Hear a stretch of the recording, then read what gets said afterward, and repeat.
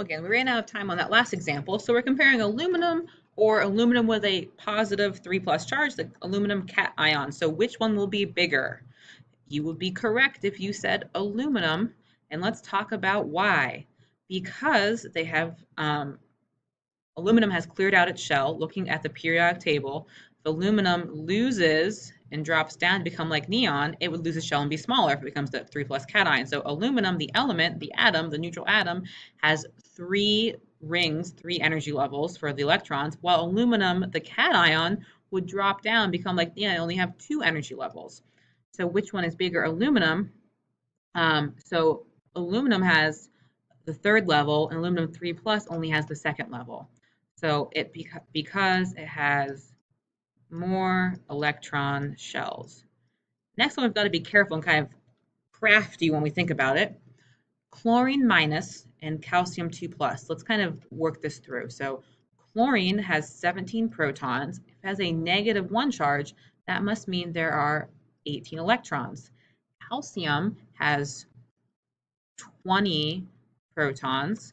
If it has a 2 plus charge, that means it has to have 18 electrons. Well, holy cow, look at that that is an isoelectronic pair right there.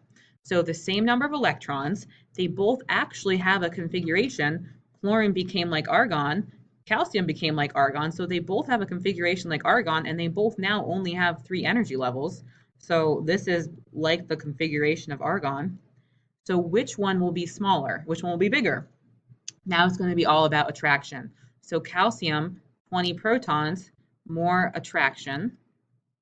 So if there is more attraction, what does that mean? That means the, the nucleus pulls in harder on the cloud, shrinks the cloud. So if there's more attraction, it is going to be smaller.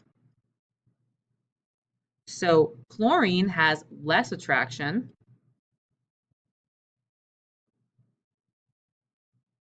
So it will be bigger. So which one is bigger? Chlorine. Why? Because there is less attraction.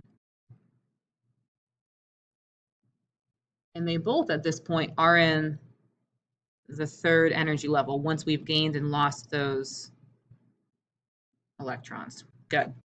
Okay, let's flip the page. Now we're going to go through and look at um, a couple different trends. We're going to look at ionization energy, um, electronegativity, and electron affinity. These all will kind of follow the same trend. We're going to look through um, what each of them does and why. In reality, it all goes back to attraction. So let's first define ionization energy. It is the energy required required to remove one electron. So to create an ion, to remove one electron. How is this related to attraction? So the more attraction there is, the more attraction there is, this means that it will be harder to remove the electron. This one, noble gases will come back into the equation. Noble gases have the highest ionization energy. They do not want to lose any electrons because they are happy, they are good. So here's your kind of your quick, your quick summary high attraction is equal to a high ionization energy. So we're going to use IE a lot to abbreviate that, abbreviate that ionization energy. Um, we have a lot of different terms to keep straight this chapter, so make sure you're paying attention to that vocabulary. So here's a table of the ionization energies for the first 20 elements. So we have hydrogen and helium, that's period one. Look, as we go from left to right, from hydrogen to helium, attraction goes up. So this is period one, um, period two, period three, and we're starting period four. Period two, look at that. All the energies go up. Going across period three, all the energies go up. So let's look at this. As you go across a period, ionization energy goes up, and that's also because attraction goes up. So we do not want to let go of our electrons. The proton's really pulled in tight. Now, as you go down a group, so let's let's pick all of our alkali metals. So Let's pick lithium. Here is sodium. Here is potassium. What happens to my ionization energies as I go down a group? 520, 496, 419. As they go down a group, ionization energy goes down because, you're right, it's all about attraction, because attraction also goes down. Now, if we look at this, kind of, this is kind of funny. Why does ionization energy decrease with oxygen and with sulfur? Um, so here we have oxygen. Its number is 13, 14. So here we look at this trend. 899, 801, 1086, 14, 13, 16. We see this little bump right here, this little jump, and we get that same kind of jump around sulfur. Let's look at the periodic table. Here is oxygen, here is sulfur. They are both in column 16, 6a, the chalcogen family. So something is funny. They have similar properties. Um, we're going to have to go back to electron configurations to help answer this question. So if we look at our periodic table, okay, S1, S2, P1, P2, P3, P4, P5, P6. You know, the p orbital wants to have either 6 or 3. Well, here we've got P4, which isn't 6 and it isn't 3. So let's see what, what's going on here. So if we have oxygen, we have our p orbital. It's going to be the same for sulfur, really, just different energy levels. One, two, three, four electrons. Is this a stable configuration? No.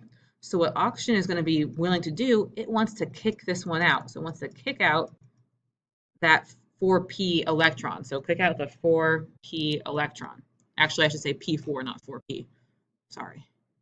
I want to use it. So kick out the P4 electron. So if we look at this going down 14, 13, then up to 16. So this trend should be going up as we go down this group or go across this group. But we have this little kind of blip here because oxygen really wants to give away one electron. Same thing happens with sulfur, like increasing, increasing, increasing, drops, increases again, it has that same configuration. It wants to drop down to P3. So let's use our, our critical thinking skills. If oxygen and sulfur do this, what other elements might as well? Maybe selenium too. We'd have to check that out. Or you could say maybe things that are like D6, but we won't go into deep metal block. There's a lot of complicated things going on there. Okay, so here's a chart of the first ionization energies versus atomic number. Just to note, the first ionization energy, that's how hard it is to take away the first electron from a neutral atom. So on this axis, we have the first energy, and here we have the atomic number. So what element in period two has the lower ionization energy? Period three. So here's period one.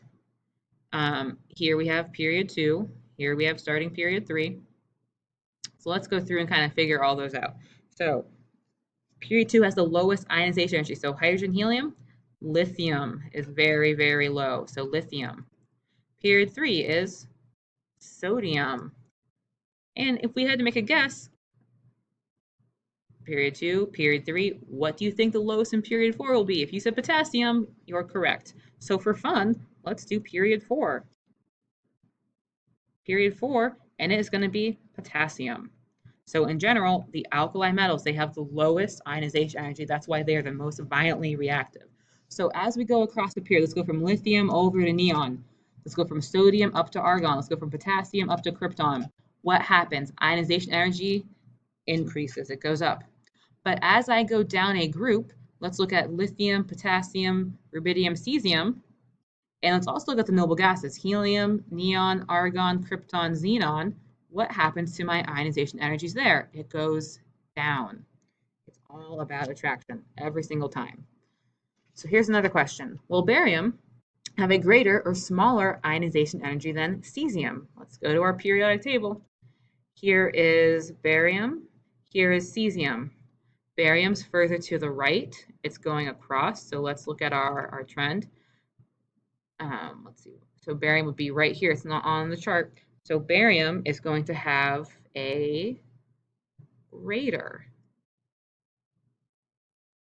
and why is it going to be greater? So what's our trend across a group? It goes up. So cesium's going next in the series, it's going to go up. So barium will be right here next to cesium. So it's going to be greater. And then let's look, will francium have a greater or smaller ionization energy than cesium? So back to our periodic tables, cesium, francium. Francium is lower, it is bigger. So if we go to our notes, well, francium would be somewhere over here off the chart. And look, this line is really going down.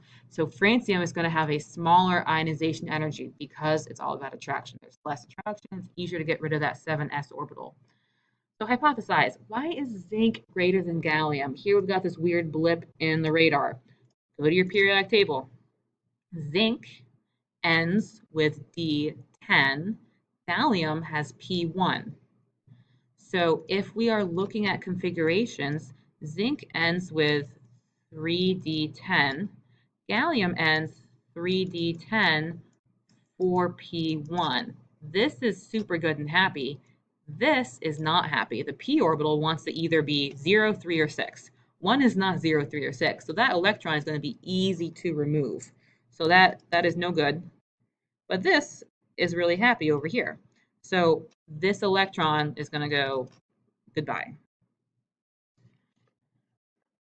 Okay, now let's summarize ionization energy. So in general, ionization energy is increased to the right as we go across, as attraction increases, and as we go up. Noble gases um, usually will be included because you can pull away the um,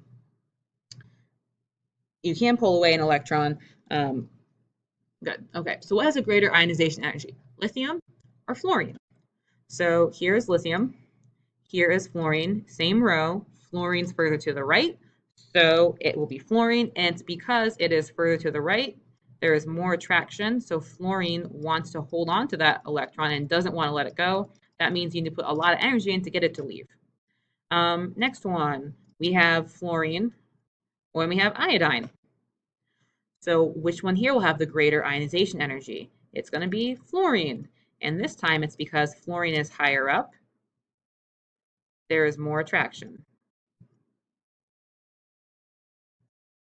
And now let's look at another example. We have barium or sulfur. So here is barium, here is sulfur. Well, sulfur is up and to the right. So sulfur is um, to the right and it's also up. So sulfur is going to have the higher ionization energy because there's more attraction. Sulfur really wants to hold on to its valence electrons and gain more, while barium wants to throw them away and drop down to a, a lower shell. Okay, um, I want you to pause the video and I want you to work through these next 10 problems and then come back and check. Your explanation should say things like it's further left or right, up or down, more attraction, less attraction, that kind of stuff. There'll be a couple weird exceptions in the D block. If you look back at our previous page, there's some blips, you know, in it, but don't get too focused on those. Um, I want the general trend. So pause this video and try those next time. Great, thank you for pausing the video and working through these all on your own. I think that most of these should have gone through and been pretty simple, but there might be one exception that might surprise you. Let's look at number three, argon and fluorine. Now, if you look at your periodic table, fluorine is one higher, but argon is one further to the right. So those rules are in direct conflict. It kind of is like, well, one's one row higher, one's more to the right. How do I figure out what wins out? The noble gas will always have the higher ionization energy. The noble gas has that complete configuration. It doesn't want to lose it. So if you actually look this up on a table, argon has a higher ionization energy than fluorine. Um, other one here, we have iodine and neon. Well, this one is quite clear. Neon is higher up and it's um, one to the right. So that one will win. I think I misspoke when I said this one. Argon is one lower than fluorine. Fluorine's higher up. Argon's one to the right. Argon wins, even though the rules oppose each other because argon um, is the noble gas. And just take a second, scan through, check your answers. Um, you should write out a longer definition of why. It's because if it's further to the right, more attraction, doesn't want to give up electrons, or if it's higher up, more attraction, doesn't want to give up electrons. It is all about attraction. So we're almost out of time on this video, but let's look at the next page. Electron affinity. So electron affinity, guess what? It's all about attraction again. Um, one note is to watch out for noble gases on this one. So last time we considered noble gases, this time we have to really keep a sharp eye out for all of our noble gases. And I will come back and finish this topic in the next video.